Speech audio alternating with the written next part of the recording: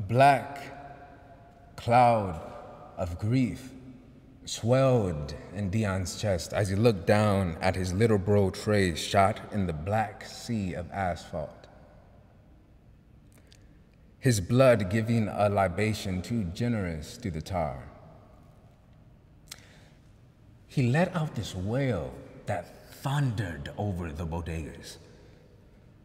But only one heard him his big homie, an OG who the youngins called Unc. And as he runs in, hearing this lamentation, seeing the rivers escaping his nephew's eyes, Deon cries out, It should have been me. He was wearing my hoodie when the law pulled up. They thought I was him. So what we on? Before Unc could respond, Deon was like, Man, fuck 12! We gonna light the city up. Unc replies, Hold up, young blood. You ain't been blessed yet. See, Unc's family was known as the Santeria folk. They Afro-Cuban, came across way back when.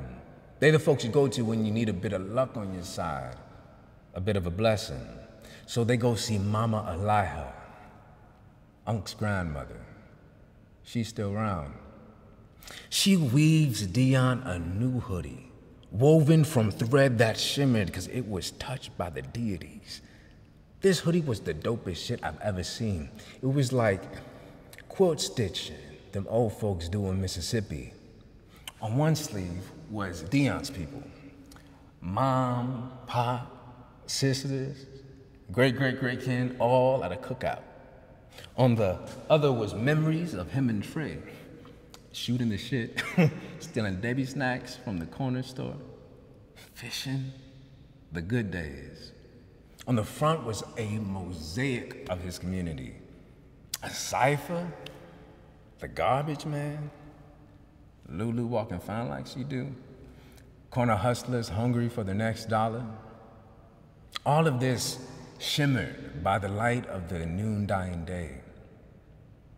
As the moon woke, it grew, the glow. It shot out with a beam that robbed us of our breath as Deon walked down the block. When headlights hit him, the hoodie was blinding. As he approached the precinct, the glow of the hoodie pierced through the night air like a bullet. You know what I'm talking about?